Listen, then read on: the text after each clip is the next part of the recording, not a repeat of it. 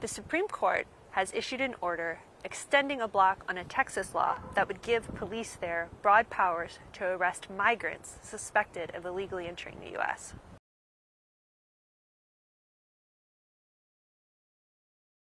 The order blocks the law indefinitely, but its language strongly suggests that the court could take additional action at a later date.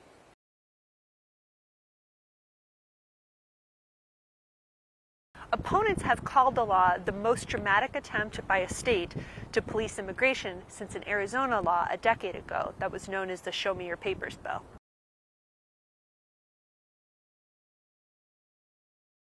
The Biden administration sued to strike down the measure, arguing it would usurp federal authority on immigration.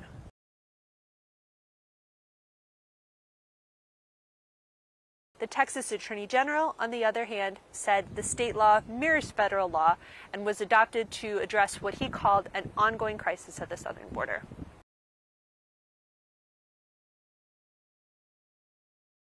The order extends the status quo during an ongoing court fight that's unfolding as immigration becomes a key issue in the 2024 presidential race.